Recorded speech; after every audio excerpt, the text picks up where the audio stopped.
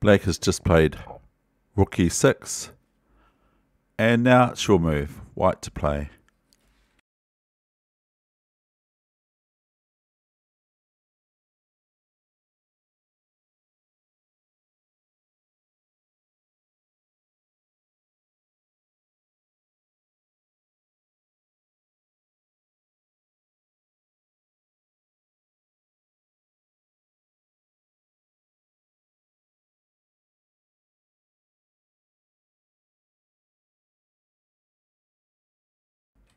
Here, the clue is it involves a pin.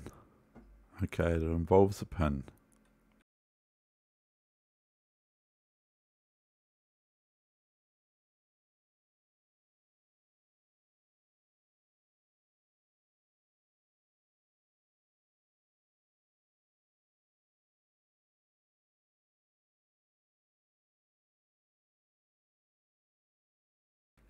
So here it comes, and this is quite reasonable. Uh, it reminds me of Karpov Korchnoi. The first move is Queen H7. It's a check. It's a really easy thing to see, isn't it? And the only move is King H7. Then we go, oh, Rook H3. Oh no, Queen H5.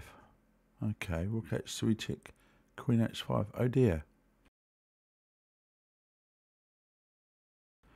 Then we look at it and we go, hang on, if I go rook there, okay, rook check. Queen goes here on h5.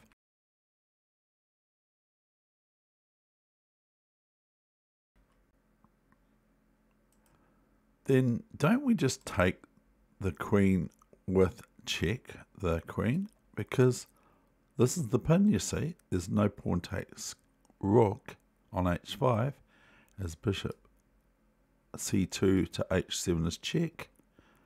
So the king has to move back. So there you go. That's how we work it out. We now go rook h3 check. And other than king back to g8 and rook h8 check, which is coming up soon, we only have otherwise is queen h5, queen sacrifice, rook h5 check, and it doesn't matter what's happening to the Ceph pawn or so. Black has to react to check, and here's king g8, rook h8 is checkmate. Isn't that good? Did you like that? I hope you did.